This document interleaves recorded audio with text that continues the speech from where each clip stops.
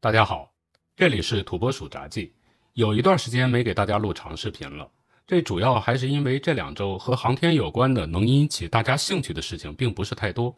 不过前两天有朋友给我留言，并提供了一个视频链接，希望我对这段视频里的一部分特定内容解释一下。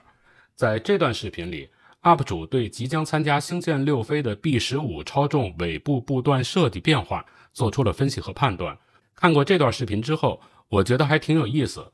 通过这段视频，能让大家对航天器柱箱设计上的一些关键点有所了解，同时通过对这段视频的分析，也能更容易地向大家说明为什么像超重这样的航天器，在全部发动机关机之后，再次点火的时候，容易出现点火失败的现象。所以我就做了这期节目。在节目一开始，还是让我们先来看一下网友提到的那段视频吧。为了方便大家观看，我还为视频配上了中英文字幕，请大家认真的先看一下。So this week we were also super excited to see Booster 15's aft section making its appearance. Now, we didn't expect too many changes given that the boosters aren't switching to their Block 2 variants just yet, but we were quickly proven wrong. Booster 15's new aft section has some interesting features. What are these? Our leading theory is that these are temporary additions to increase the volume of the liquid oxygen header tank. I'm wondering if they want extra propellant so that they can attempt to catch a booster without the jettison of the hot staging ring, but it could simply be that they want a higher volume of landing propellant so that they can nail these tower catches.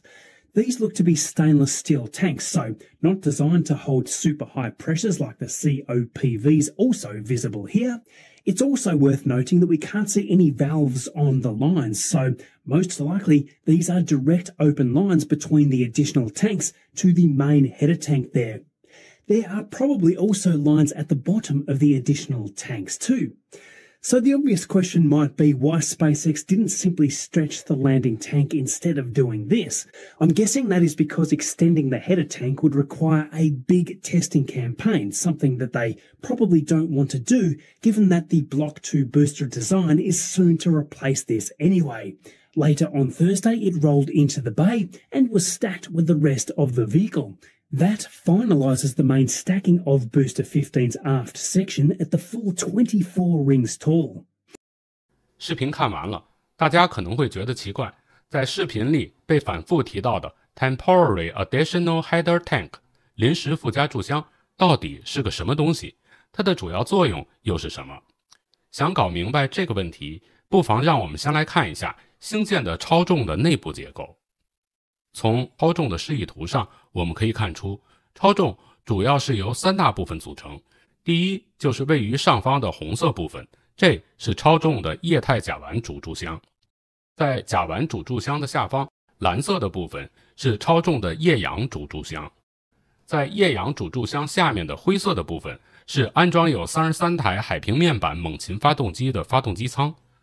这一部分有的时候也会被叫做传力结构。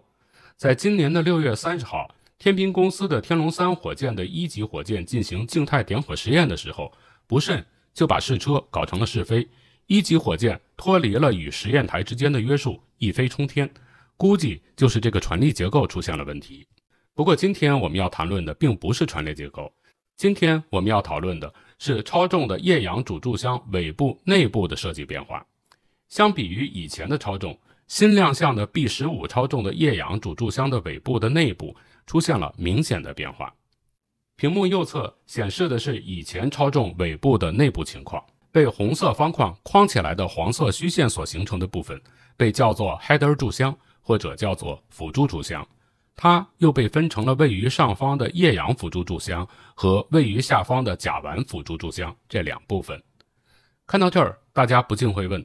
辅助贮箱的作用又是什么呢？想解释清楚辅助贮箱的作用，我就还得请大家再看一段视频。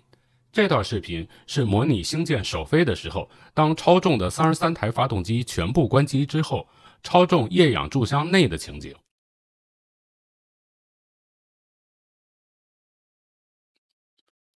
我们可以看到，当超重的全部发动机都关机之后。由于飞行中的超级重型助推器突然失去了向前的加速度，导致柱箱内剩余的推进剂因为惯性的作用，在主柱箱内迅速的漾起，并在接下来的一段时间内在主柱箱内不停的回荡。这种现象在剩余推进剂越少的情况下就会越明显。在星舰组合体的实际飞行中，由于超重和星舰飞船分离后，就需要立即重新启动部分发动机，以便完成在屏幕上方红色方框所示的空中翻转动作。而推进剂在空旷的主柱箱内不停地回荡，很可能会导致需要重启的发动机无法获得推进剂，实现再次点火。正是为了降低超重与星舰飞船分离的时候，超重主柱箱内剩余的少量推进剂在主柱箱内四处回荡，导致发动机无法再次点火的风险。从二飞的星舰开始，SpaceX 就把星舰采用的冷分离改成了热分离，也就是超重在和星舰飞船分离之前，超重并没有一下子把自己的全部三十三台发动机都关闭，而是依次关闭了其中的三十台发动机。却保留了最后位于超重底部内圈的三台发动机仍处于工作状态，这就使得在分离时，超重主柱箱内的推进剂依然会受到向前的加速度的作用，汇集在主柱箱的底部。在这种情况下，当其他发动机再次点火的时候，就能方便地从主柱箱的底部获得所需的推进剂，从而提高第二次点火成功的可靠性。但是这种方法。虽然能解决超重在与星舰飞船分离后发动机再次点火的问题，不过从超重四飞的飞行时序我们可以看出，超重在分离并完成空中翻转动作之后，依然会把参与空中翻转动作的十三台发动机全部关闭。此时，超重的三十三台发动机就会全部处于关机状态。然而，根据超重的飞行时序，在超重即将降落的时候。先是位于超重底部内圈的三台发动机需要进行第二次点火，紧接着位于底部中圈的十台发动机需要进行第三次点火。这两次共十三台发动机的点火目的是实现超重在降落前的快速减速。在此期间，超重的速度将快速的从大约一千三百公里每小时降低到大约两百公里每小时。这个过程大约需要七秒钟的时间，平均的减速加速度。是四点五 G，在这么高的减速加速度的作用下，主柱箱内残余的少量推进剂会因为加速度的作用，迅速的汇集到主柱箱的下部。如果减速的过程不是很稳定，减速加速度就会发生变化，残余的推进剂就会再次出现在空旷的柱箱内回荡的情况，这就有可能导致执行减速动作的发动机无法可靠的点火。或者无法可靠的在减速过程中获得所需的推进剂，从而导致减速失败。为此，SpaceX 的工程师在超重液氧柱箱的底部设置了一个辅助柱箱，或者叫做 Header Tank。之所以被称作 Header Tank，这是因为具有同样功能的柱箱最早被设置在了星舰飞船上，只不过在星舰飞船上。这个辅助柱箱是被设置在了飞船的头部，也就是大家现在在屏幕上看到的那样。因此，对于超重而言，辅助柱箱的作用其实就是超重最后在即将着陆的时候，向需要点火工作的十三台发动机提供所需的推进剂。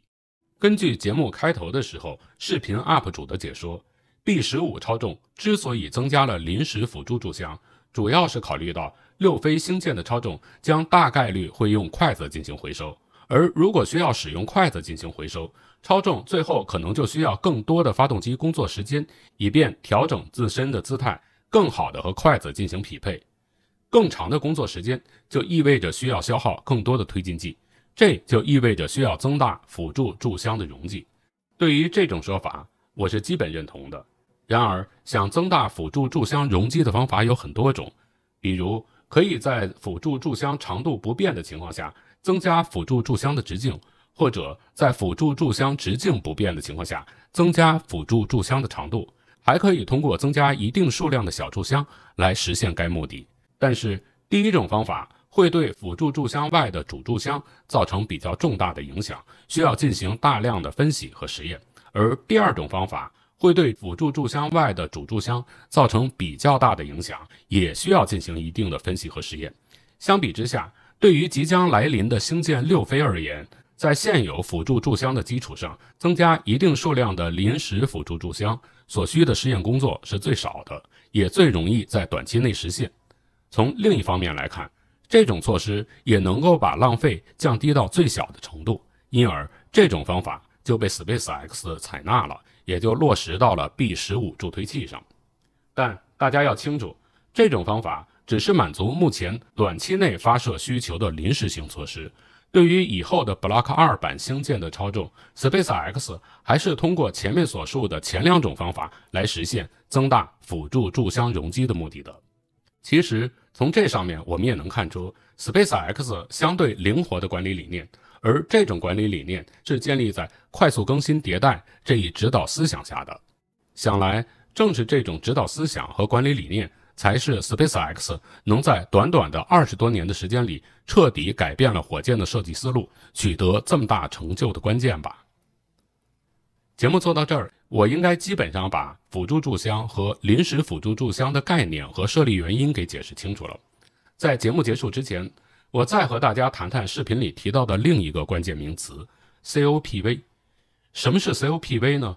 中文名字叫做复合材料包覆压力容器。是一种用于存储高压气体的容器，在航天器上有着广泛的应用。COPV 一般由金属的内衬和外部复合材料的包覆层组成。这种设计使得 COPV 能够保持比较高的强度的同时，显著地减轻它自身的重量。在航天器上，COPV 一般用来存储高压氮气、氦气等。主要用途就包括应用于推进系统，向柱箱提供压力，将柱箱内的推进剂汇集在指定的区域。在六月五号，波音公司的 Starliner 飞船在发射后不久就被发现有氦气泄漏，而这个泄漏的氦气应该就是来自于飞船上的 COPV。COPV 的第二个作用呢，是可以作为姿态控制系统的气源，用来调整航天器的飞行姿态。在星舰的超级重型助推器上，COPV 起的也是类似的作用。从屏幕上的两张图片我们可以看出，在超重上安装有四组 COPV，就是我们现在看到的超重上的四条突出的棱的原因。看来，随着更多的信息被披露，我们对星舰的了解也会越来越深入。好，今天的节目就到这里，谢谢您的陪伴。不知道您在看了这期节目之后，对辅助注箱和 COPV 还有什么别的想法？欢迎您给我留言，咱们一起讨论。另外，也请您订阅我的频道，打开小铃铛，这样您就能收到我节目更新的通知。同时，也欢迎您转发、评论、点赞。咱们下期节目再见。